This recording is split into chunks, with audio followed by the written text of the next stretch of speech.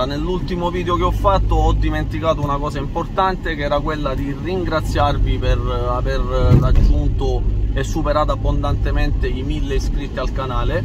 Quindi colgo l'occasione di questo nuovo video per eh, ringraziarvi tutti quanti e per continuare a invitarvi a iscrivervi al, al canale. Più siamo e ovviamente più il canale cresce più le discussioni saranno interessanti anche dopo con i vostri interventi riguardo a questo l'ultimo video abbiamo parlato del, innanzitutto dell'aggiornamento delle cove cosa che eh, ripeterò più avanti sperando appunto che le cove vadano meglio di quanto siano iniziate. E abbiamo parlato soprattutto e fondamentalmente della legge quella lì eh, che si sta discutendo sulla questione esotici che potrebbe eh, mettere a repentaglio come sappiamo il nostro hobby riguardo a questo eh, in privato mi hanno contattato tante persone che ringrazio eh, ma una in particolare mi ha colpito ciò che ha detto la sua situazione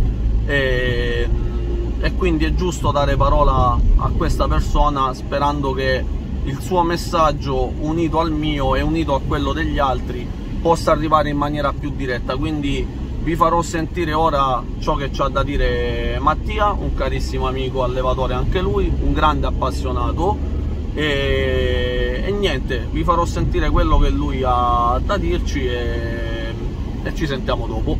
Ciao ciao!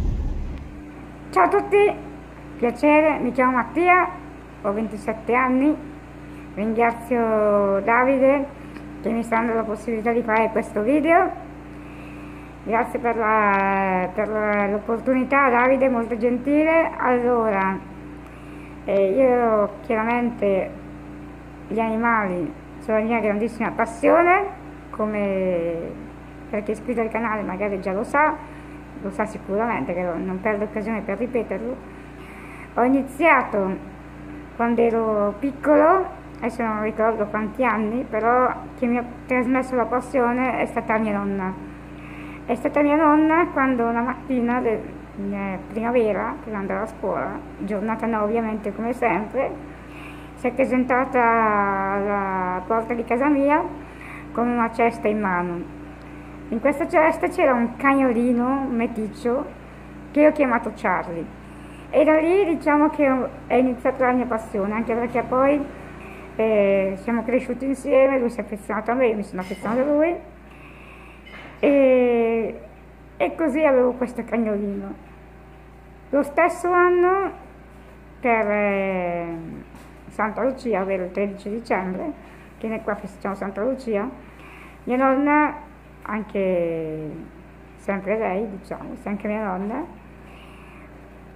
ha deciso di farmi portare da, da Santa Lucia una coppia di gallinelle americanelle, gallo e gallina. Diciamo che all'inizio non ho, avuto, non ho dato tanta importanza a questo regalo. Non ho dato, sono andato avanti a giocare con i miei giocattoli e fare mangiare i miei dolci per colazione che poi dovevo andare a scuola. Ma al pomeriggio eh, mi preoccupai subito di come poter sistemare i miei nuovi animali. Non sapevo assolutamente nulla di cosa dovevo fare, che gabbia dovevo mettere, cosa dovevo fare, ma erano, erano in un trasportino. Capivo che quello non era il posto giusto però, era un trasportino minuscolo. In realtà era una gabbietta. E fortunatamente quando io mi, mi preoccupai di mettere a posto queste galline ci avevano già pensato i miei nonni. Con, avevano procurato una conigliera in legno e avevano già, l'avevano già predisposta con la cesta, il posatore nel punto più alto della, della conigliera, il mangime e tutto. E quindi da lì diciamo che ho iniziato ad appassionarmi, ho iniziato, l'estate dopo un, mio amico mi ha regalato una coppia di diamanti mandarini e da lì ho iniziato. Purtroppo non avevo, non avevo social, non avevo internet, perché all'epoca quando ero piccolo non ero capace e se non ero non c'ero nemmeno o era, era prime armi, adesso non ricordo. Però mm, non potevo imparare, non potevo, avevo diciamo pochi, pochi appoggi tranne i nonni. E dopo così facendo ho iniziato ad andare mio, dalla mia uccelleria diciamo di fiducia, non a caso adesso lì che lavoro, e lì diciamo che il mio datore di lavoro, essendo esperto, ho iniziato lì a andare lì le prime volte, ero piccolino, eh, e iniziavo a fare domande, poi lì ho visto le cocorite, ho visto i canarini, ho visto i coniglietti, i porcellini d'India, e da lì ragazzi non c'è stato più fine. E I canarini però mi sono sempre stati sconsigliati, mi sono sempre perché sono delicati e se esposti alla corrente d'aria rischiano di soffrire e addirittura di lasciarci. Anche le punture di zanzara sono molto fra- delicate e fragili, infatti se vengono appunti da una zanzara vengono infettati e ci lasciano le penne, poverini. Però ho provato con una prima coppia, una prima coppia che mi hanno portato in montagna e lì diciamo che mi sono durati un po', però ero le prime armi non tantissimo.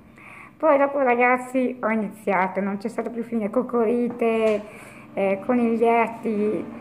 Dopo ragazzi ho iniziato con eh, apprendere, imparare e acquistare sempre più animali, ho iniziato a specializzarmi, ho iniziato a fare i giusti recinti, le giuste voliere, il giusto mangiare, tutto. Non che prima lo facessi, però ho iniziato diciamo a imparare da solo, a studiare, a leggere, a guardare anche i video su YouTube, anche perché quando magari scopro qualche canale nuovo o qualche nuovo profilo non esito a, a contattarli per chiedere magari qualche informazione, qualche consiglio riguardo e da lì ho iniziato.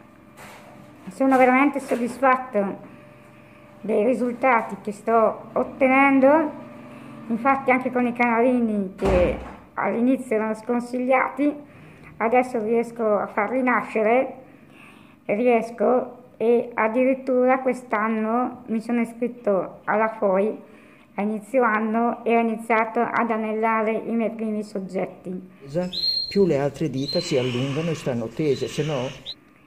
È una grandissima soddisfazione veramente ragazzi, anche perché adesso con questa legge che dovrebbe subentrare, diciamo, nei prossimi giorni, non si sa come si andrà, si andrà a finire.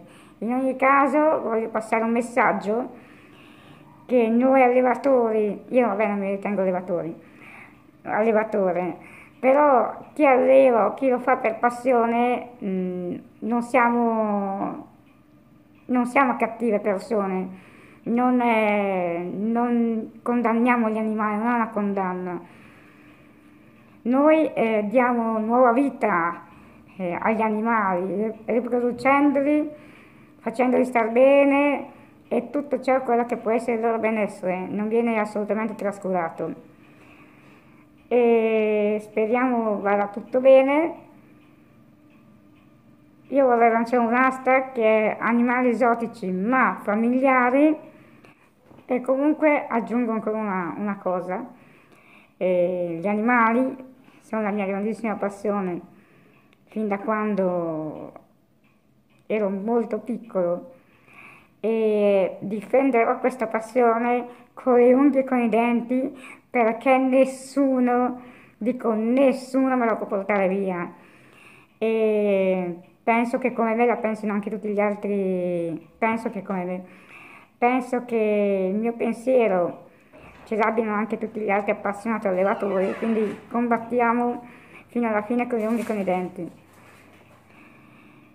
E chiudo subito qua il discorso senza aggiungere null'altro chi sta facendo tutto questo, che lo fa senza senso, senza senso proprio. È insensato. E nulla, niente, vi lascio, vi lascio un video per mostrare un po' le specie che allevo. Chiaramente io sono, non dico specializzato, però ho parecchi canarini, ho parecchi pappagalli e adesso vi faccio vedere qualche animale che, che ho in famiglia. Eh, non vi faccio vedere tutte perché altrimenti il video verrebbe troppo lungo, ho anche altre mandarine. chi non sapesse cosa sono magari lascio un'immagine. E nulla, ci vediamo con eh, gli animali che ho in famiglia. Bene ragazzi, iniziamo subito. Allora, qua calossite, quello è il maschio, quello è un pugno che è appena Vabbè. Quello è un pugno che è appena stato svezzato, infatti ancora il muso grigio. Qua dentro c'è la femmina che sta covando altre uova e due pulli già nati da qualche giorno. Lui è Pippo. Pippo! È una carrozzita levata a mano, sempre regalo di mia nonna, ed è il pappagallo più vecchio che ho, più anziano. Pippo! Era in casa, che è levato a mano, come vi stavo dicendo, però poi è arrivato il gatto e non andavano tanto d'accordo.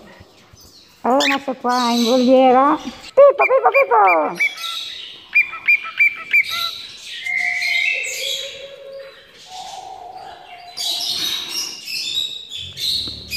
Prima la voliera era più, ospitata, ecco, c'erano anche dei grupponi, altre carrozzite, eccetera.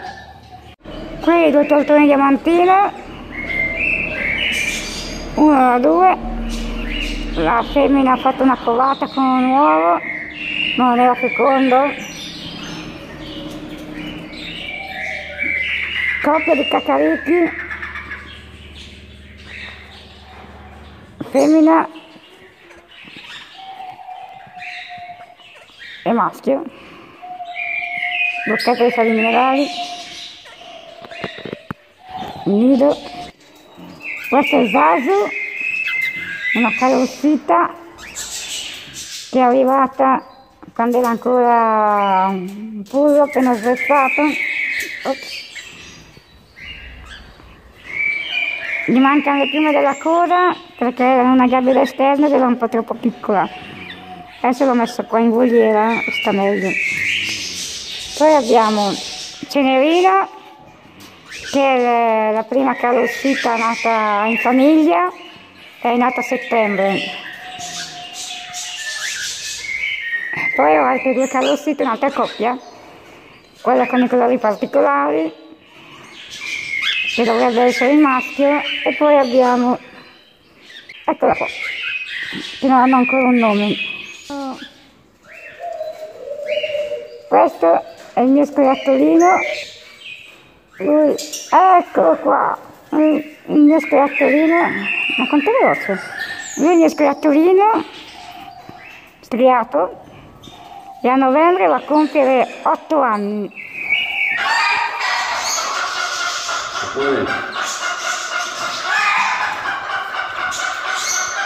Uno,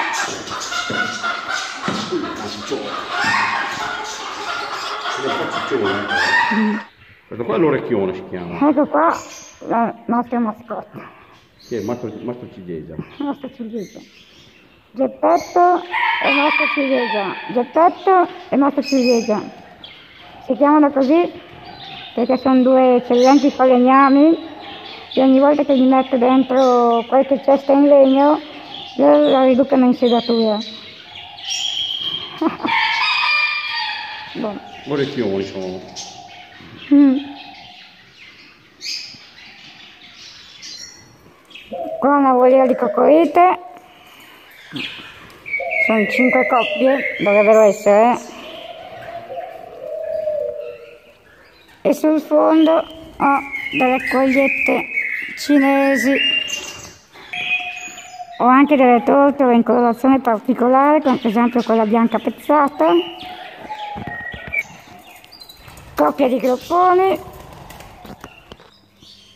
tarlocchetto di Burt, la femmina in cova, dovrebbero nascere domenica se tutto va bene.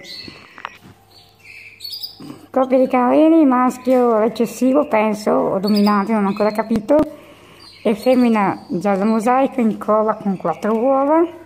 Qui ho due lucherini maschi, bellissimi, adesso sono un po' irrequieti perché ci sono io che sto facendo il filmato, altrimenti sono belli calmi. Ho scoperto, grazie a Davide, che sono due maschi, sfortunatamente. Famiglia di canarini, giallo brinato e lizard, e è il pullo, che è appena da poco sceso dal nido, 15 giorni. Un'altra coppia di canarini, pezzato e giallo brinato con due pulli, sono nel nido, ve li faccio vedere meglio. Sì. Perché la zampa diventa grande in fretta. Altra coppia di canarini bronzi, femmina nata da me, sta covando, nata stagione Cove 2021 e il maschio bronzo che ora non vedo, eccolo, è venuto a farsi vedere. Eccolo lì. Coppia di roster, il maschio si intravede col ciuffo, eccolo lì, la femmina è in cova nel nido. Coppia di gialli, giallo intenso e giallo brinato che sta covando. Quattro uova, tre feconde. Ho fatto la speratura, ve le faccio vedere. Tutte feconde? No, davvero? Sì. Coppia è nata da me, due, stagione 2021, chiaramente non sono fratelli. Poi, coppia, un'altra coppia, arancione e rosso brinato che adesso non vedo. Eccolo là. Uova, tre uova tutte mm, non, non fecondate. Coppia giallo mosaico. Penso la femmina abbia iniziato a deporle.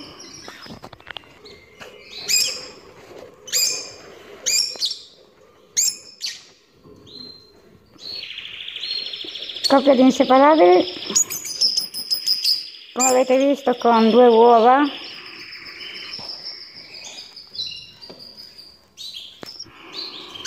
Ora vi faccio vedere meglio.